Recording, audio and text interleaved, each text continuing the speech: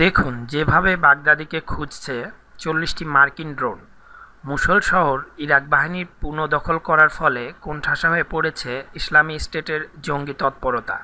আর এরই মধ্যে জঙ্গি গোষ্ঠীর প্রধান নেতা আবু বক্কর আল বাগদাদির খোঁজে দ্বিগুণ প্রচেষ্টা চালাচ্ছে মার্কিন সেনারা।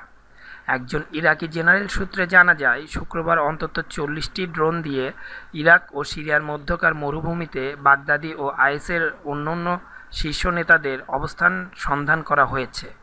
এদিকে গোপনীয়তার শর্তে সূত্রটি আরও জানায়, কিছু ড্রোনে রাডারের সাথে ক্ষেপণাস্ত্র সংযুক্ত করা হয়েছে, যার অর্থ দ্বারাই বাগদাদিকে বন্দি করা নয়, বরং তাকে নিশ্চিহ্ন করাই মূল উদ্দেশ্য।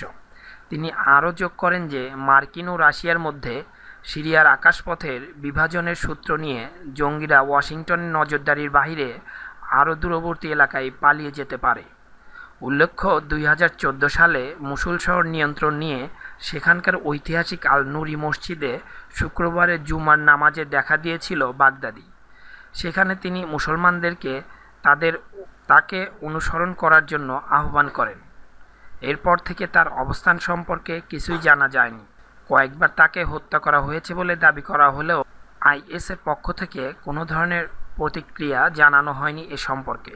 আমার এই চ্যানেল হতে আপনারা যদি আরও লেটেস্ট নিউজ পেতে চান, তাহলে অবশ্যই সাবস্ক্রাইবের মাধ্যমে আমার সঙ্গে থাকুন। ধন্যবাদ সবাইকে।